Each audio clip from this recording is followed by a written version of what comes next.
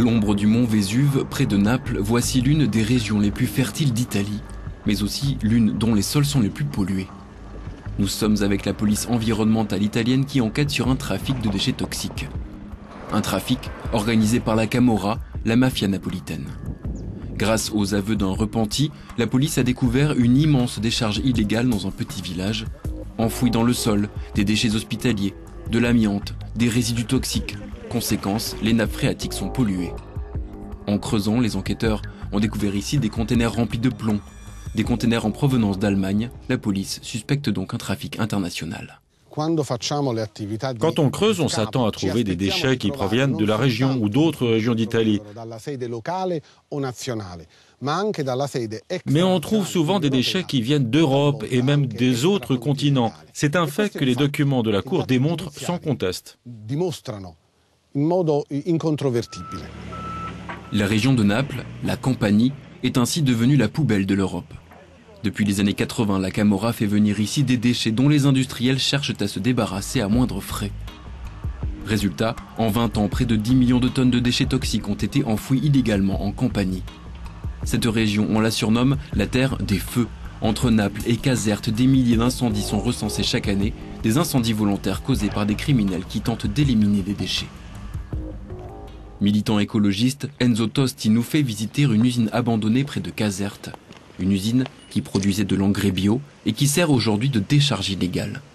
On trouve ici des chutes de tissus et de cuir à chaussures, des rebuts de semelles, des bidons d'adhésifs, des déchets abandonnés ici non pas par la mafia, mais par les travailleurs illégaux du textile. La majeure partie des entreprises du luxe emploient illégalement des travailleurs. Elles sous-traitent pour les grandes griffes du luxe italien. Des petites décharges, on en trouve un peu partout, avec des déchets encore fumants. déchets domestiques, déchets textiles, déchets du bâtiment. Ce truc-là, c'est du bitume et ça entretient le feu. Pendant des jours, ces mini-incendies répandent des dioxines dangereuses et ça peut durer très longtemps. Campagne et ville, même constat. Près de Naples, voici le village de Caivano, contrôlé par la Camorra. À chaque coin de rue, les containers débordent. À la paroisse locale, le héros de la bataille contre l'éco-mafia est le père Maurizio Patriciello. En publiant un livre sur le scandale des déchets, ce prêtre a fait éclater le scandale après 20 ans d'omerta, un scandale qui tue. C'est nous les prêtres qui officions aux enterrements. Je suis bien placé pour constater que dans ma communauté, tout le monde meurt suite à un cancer ou une leucémie. J'ai célébré l'enterrement de Luciano, 16 ans, d'Antonio, 10 ans, d'une maman de 30 ans et d'une autre de 26 ans. Et je me suis dit, mais qu'est-ce qui se passe Officiellement, si le ministère de la Santé reconnaît que le taux de mortalité pour cause de cancer est supérieur en compagnie à la moyenne nationale, il estime qu'il n'y a pas de lien direct avec le problème des déchets. Mais selon les enquêtes locales, les cancers du côlon ou du foie seraient en hausse de 80 à 300% depuis 2008 dans les localités les plus exposées. Parmi les fidèles du père Patriciello, voici Anna. Il y a six ans, son petit garçon est mort d'une leucémie après un an de traitement. Ricardo avait presque deux ans. Pour sa mère, la cause de son décès ne fait aucun doute. Un criminel, pour un peu d'argent ou pour beaucoup d'argent, je ne sais pas, a empêché mon fils d'apprendre à marcher, de faire ses premiers pas. Ces petites chaussures représentent tous les enfants de ce pays qui ne sont plus là aujourd'hui. Avec d'autres mamans qui ont perdu leur enfant, selon elle, à cause des éco-mafias, Anna s'est mobilisée. Elle accuse le gouvernement de n'avoir jamais combattu les trafics et de ne pas avoir eu le courage d'affronter la mafia. C'est impossible que tous ces camions pleins de déchets dangereux puissent arriver du nord de l'Italie sans que personne ne s'en aperçoive. Personne n'a jamais arrêté ces camions et pris une pelle pour voir ce qu'ils transportaient. D'après les ONG, ces fameux camions qui traversent l'Italie pour déverser leur chargement dans la région de la Campanie, il y en aurait eu plus de 400 000 en 20 ans. Sur ce site industriel près de Caserte, la police environnementale a découvert ce qui pourrait être la plus grosse décharge illégale d'Europe. 2 millions de mètres cubes de déchets enfouis sur 25 hectares, une catastrophe écologique.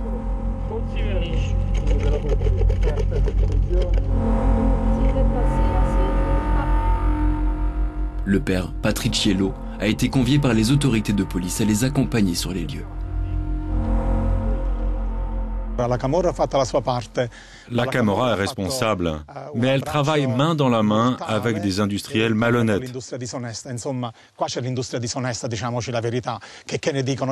Disons la vérité, certains entrepreneurs d'Europe du Nord sont de mauvaise foi et cherchent à se défendre en disant que ce n'est pas leur problème. Mais je pense qu'ils ont tous tort. C'est un problème global. Si une entreprise veut recycler de manière légale un conteneur de déchets plastiques, cela lui coûte 60 000 euros. Une facture divisée par 10 si elle s'en débarrasse en passant par un intermédiaire mafieux. Et une facture qui baisse encore plus si on expédie les déchets vers le tiers-monde. L'Italie est ainsi de moins en moins la destination finale des déchets, mais plutôt une plaque tournante vers d'autres ports et d'autres continents.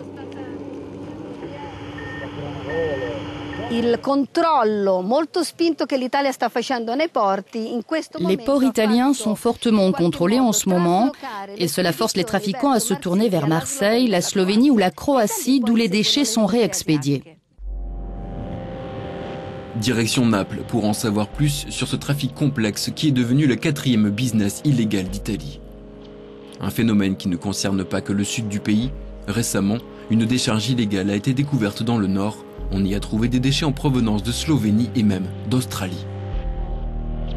Nous avons rendez-vous avec Giovanni Colangelo, procureur de la République. Le trafic de déchets opère de façon complexe et sophistiquée aujourd'hui. C'est un trafic qui est rendu possible par la fabrication et l'usage de faux documents qui font référence à des sociétés écrans qui n'ont aucune existence légale. Eh, les documents fiscaux et douaniers qui accompagnent les déchets pendant leur transport sont des faux. Le transport est donc réalisé derrière un masque qui semble légal. Le Parlement italien vient de voter une loi sur les délits environnementaux. Elle prévoit 15 ans d'emprisonnement pour toute personne jugée coupable de trafic illégal de déchets. Mais face à un problème européen, les autorités italiennes attendent des législations européennes. Face à l'aggravation de la situation, nous souhaitons que la législation contre les écomafias devienne une législation européenne. Cela nous permettrait d'avoir les mêmes armes pour enquêter.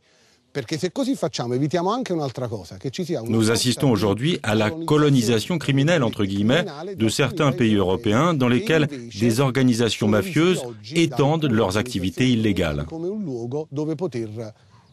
delinquentialmente investire. Nettoyer les sites pollués de la région de Naples prendra des années, voire des générations.